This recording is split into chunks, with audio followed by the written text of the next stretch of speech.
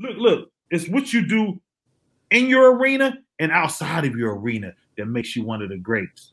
You feel what I'm saying? That makes you one of the greatest. Like, I like I love I love what LeBron doing. He already considered one of the greats. You understand me in his arena, but it's the shit he do outside that shit.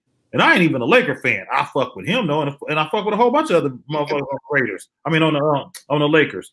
You understand me? Sorry about that short. I didn't mean that. I love the Raiders I if it is, let me say something for the record. No matter if I'm a 49er fan or a Raider fan, whatever y'all want to call it, whatever, I never ever in my life said anything bad about the Raiders. Find it. If you find it on social media, as many people get on me about man, 49er Raider, man. Come on, man. I'm Bay Area. I'm from Vallejo. We don't have a football team, nigga. I'm everything. You understand what I'm saying? I'm from a small little city, so I'm I, I they told me to pick a side, so I rolled with the 40 timers. Now, give me